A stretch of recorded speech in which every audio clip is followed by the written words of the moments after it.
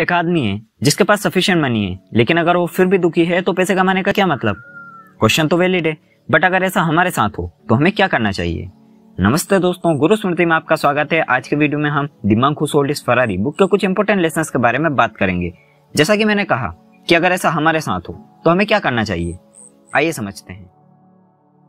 Julian एक rich और successful lawyer है। उनके पास बहुत सारी प्रॉपर्टी और एक फरारी भी है बट वो दिन में अठारह घंटे काम करते हैं और उनका काम बहुत स्ट्रेसफुल है। इसीलिए उनकी अपने घर वालों से बनती नहीं है मीन्स लड़ाई होती रहती है।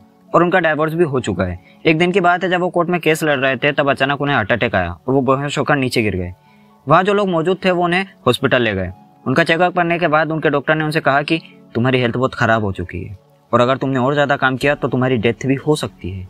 हॉस्पिटल से निकलने के बाद वो कहाँ गए, किसी को कुछ पता नहीं चला। वो उनके ऑफ़िस में भी नहीं दिखे, लेकिन तीन साल बाद वो अचानक अपने कलीग जॉन के ऑफ़िस पहुँचे, उसे अपनी स्टोरी सुनाने। जैसे जॉन ने उन्हें देखा तो उसे लगा कि जुलियान की एज दस साल कम हो गई है। उन्होंने बहुत ज़्यादा वेट लूज कर लिया था और वो बहुत पीसफुल दिख रहे थे।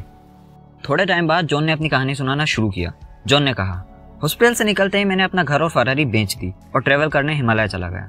बिकॉज़ हिमालय में रहने वाले मंक सौ सालों से ज़्यादा जी रहे हैं और उनके पास ही रियल नॉलेज और विजडम मिल सकती है।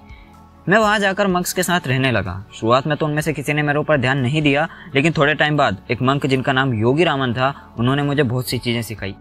मंक ने कहा, इमेजिन करो कि तुम एक गार्डन में हो, जहाँ बहुत सारे फूल लगे हैं। उस गार्डन में एक लाइट हाउस भी है। अचानक से उस लाइट हाउस से एक सुमो रेसलर बाहर निकलता है। उस रेसलर ने एक लंगोट पहनी है। कुछ देर टहलने के बाद उस रेसलर को एक गोल्डन वॉच दिखती है। वो उस वॉच को उठा के अपने हाथों में पहन लेता है। वॉच पहनते ही वो अचानक नीचे गिरकर बेहोश हो जाता है। थोड़े टाइम बाद फूलों की खुशबू से उसकी नींद खुलती है। नींद खुलते ही वो गार्डन में वापस टहलने लगता है। टहलते टहलते उसे एक रोड दिखता है, जिस पर डायमंड लगे हैं। वो रेसलर उस रोड पर चलने लगता है और चलते चलते गायब हो जाता है और इतने में मंक की स्टोरी खत्म हो जाती है। जुलियन को इस स्टोरी में कुछ समझ नहीं आया। मंक ने उसे समझाते हुए कहा कि इस स्टोरी में ज़िंदगी जीने के सात प्रिंसिपल छुपे हैं। फ़र्स्ट गार्डन स्टोरी में जो गार्डन था वो सिंबलाइज करता है हमारे माइंड को। फॉर एग्ज़ाम्पल हम गार्डन में अच्छे सीड्स लगाते हैं तो हमें अट्रैक्टिव फ्लोवर और टेस्टी फ्रूट्स खाने को मिलते हैं। बट अगर हम गार्डन में कचरा फेंकते हैं तो धीरे धीरे वो गार्डन जंक यार्ड बन जाता है। वैसे ही, अगर हम अपने माइंड में अच्छे थॉट्स रखते हैं लाइक काइंडनेस लव एम्पथी और अपने आप को हमेशा अच्छा काम करने के लिए मोटिवेट करते हैं तो हमारा माइंड एक ब्यूटीफुल गार्डन की तरह बन जाता है। बट अगर हम अपने माइंड में नेगेटिव थॉट्स को रखते हैं तो हम दुखी रहेंगे और हमारा माइंड डंकी बन जाएगा। इससे बचने का सबसे बेस्ट तरीका है अपने माइंड की सफ़ाई, जिसे आप मेडिटेशन की हेल्प से कर सकते हैं। Second lighthouse lighthouse life के गोल्स का सिंबल है। जैसे लाइट हाउस शिप्स को सही डायरेक्शन दिखाता है किनारों तक पहुँचने के लिए, वैसे ही लाइफ के गोल्स हमें सही डायरेक्शन दिखाते हैं लाइफ को सक्सेसफुल बनाने के लिए। बट कई लोग ऐसे भी होते हैं जिन्हें अपनी लाइफ के गोल के बारे में कुछ पता नहीं होता। अगर आप उनसे जाकर ये पूछते हैं कि तुम्हें आगे जाके क्या करना है तो वो इस क्वेश्चन का जवाब ही नहीं दे पाएँगे। आप खुद सोचिए, अगर आपको रास्ते के बारे में पता ही नहीं होगा तो आप मंजिल तक पहुंचोगे कैसे? इसीलिए हम सभी की लाइफ में गोल होना चाहिए, और उसे अचीव करने के लिए हमें कंटिन्यूस एफर्ट्स लगाना चाहिए। अगर आपको गोल के बारे में और भी ज़्यादा नॉलेज चाहिए तो इस पर जल्द ही मैं एक समरी अपलोड करने वाला हूँ। Third sumo wrestler sumo wrestler continue improvement को सिंबलाइज करता है। जापान में सुमो रेसलर्स एक फिलोसफी को फॉलो करते हैं, जिसका नाम है काइजन काइजन मीन्स आप किसी बहुत छोटी चीज़ पर बहुत ज़्यादा फोकस करते हो। रोज और आप कंटिन्यूसली धीरे धीरे अपने आप को इम्प्रूव करते रहते हो। छोटी छोटी चीज़ों पर फोकस करते करते आप अपनी लाइफ के बड़े बड़े रिजल्ट्स तक पहुँच जाते हो। अगर आपको कायजन के बारे में और अच्छे से समझना है तो आपको Chandni Chowk to China movie देखना पड़ेगा। मे भी आपने देखी हो। तो मूवी का एक सीन है जिसमें अक्षय कुमार से उसका कोच कहता है कि तुम ये करो। मुझे भी नहीं पता इसको क्या बोलते हैं। तो शुरुआत में उसे भी नहीं पता कि इससे क्या होता है।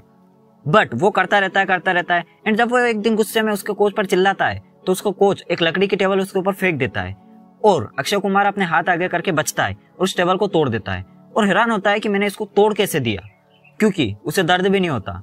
एक लकड़ी की टेबल अपने हाथ से तोड़ने के बाद।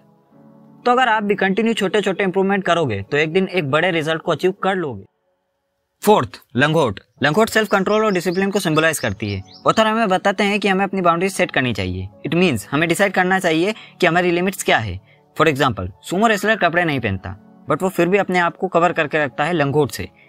इससे औथर हमें बता रहे हैं कि हमें भी हमारी बाउंड्रीज डिसाइड करनी होगी। और ये हमें कोई और नहीं बताएगा। Fifth golden watch golden watch symbolise करती है टाइम को। हर किसी के पास बराबर और थोड़ा सा ही टाइम है अपनी ज़िंदगी जीने के लिए।